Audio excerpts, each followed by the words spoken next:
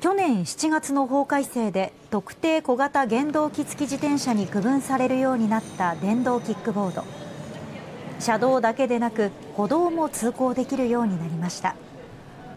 ただし車道を走る際の制限速度が時速20キロなのに対し歩道では時速6キロまでに抑えなくてはなりません。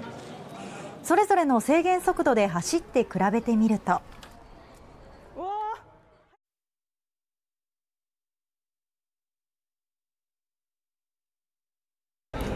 車道モードで乗ってみると急にブレーキで止まるのが難しいぐらいの速度が出て結構ヒヤッとするような怖さがありました。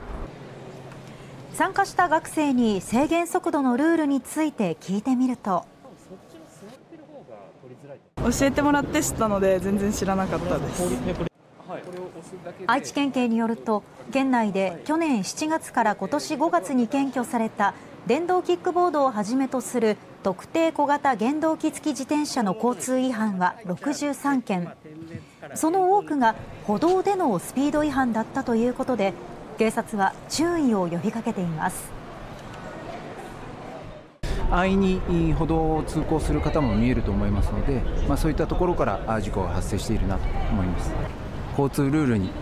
遵守して安全利用に努めてほしいと思います。